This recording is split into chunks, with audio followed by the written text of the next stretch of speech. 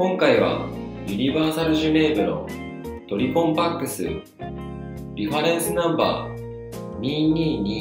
222100の2をご紹介いたします。トリコンパックスは1940年代から1970年代と製造期間が長いロングセラーモデルです。ファーストルックのインパクトが絶大で総合的なデザインバランスの美しさに定評がある時計です。本日ご紹介するトリコンパックスは文字盤はアイボリーでアプライドバーインデックスを採用しキャリバー281を搭載しています。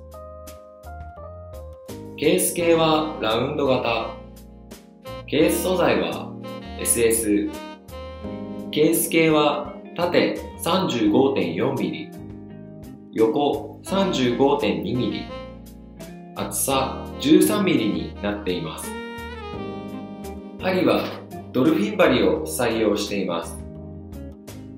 古くから数えきれないほどのメーカーがひしめき合うスイスで複雑機構を得意とするマニュファクチャラーとして独特の立ち位置を確保したユニバーサルジュレーブの気品高い一品になっています。